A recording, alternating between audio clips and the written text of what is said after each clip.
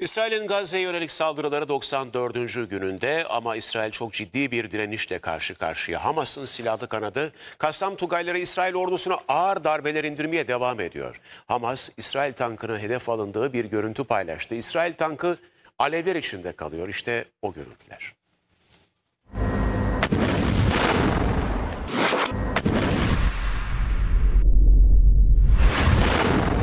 Elinde roketle ilerledi, saklandı. Hedefine kilitlendi. Ardından roketi ateşledi. İsrail tankı alev alev yandı.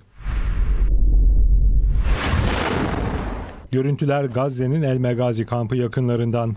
Gazze'de şiddetli çatışmalar sürüyor. Hamas'ın silahlı kanadı Kassam Tugayları İsrail ordusuna ağır darbeler indirmeye devam ediyor. Hamas Gazze'den İsrail tankını vurma anını paylaştı.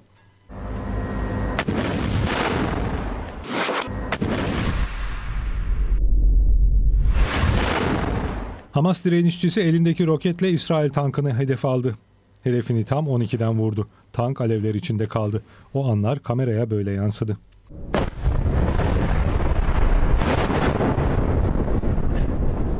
İsrail ordusu da Gazze'den görüntüler paylaşıyor. İşgalci İsrail'in bölgede ilerleyişi sürüyor. Havadan ve karadan katliamlara devam ediyorlar.